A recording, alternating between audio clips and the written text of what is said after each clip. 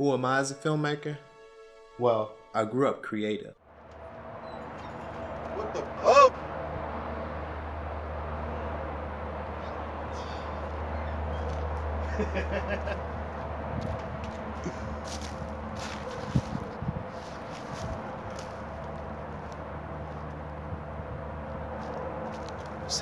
this is like take 15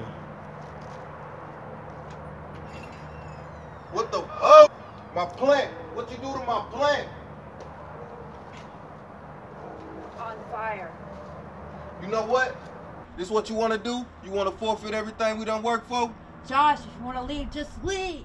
a lot of that creativity had been used making songs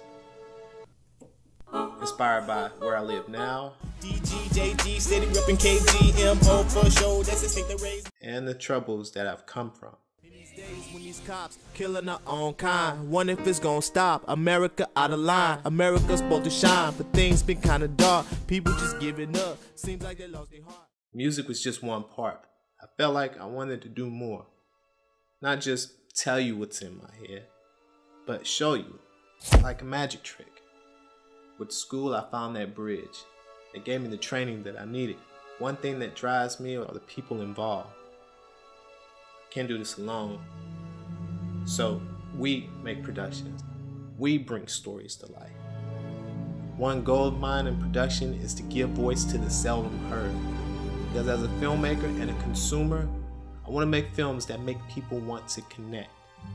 To do that, I reach out to the people, work with them. I am a voice. I am a voice. I am a voice. I am a voice. As a filmmaker, I'm a voice.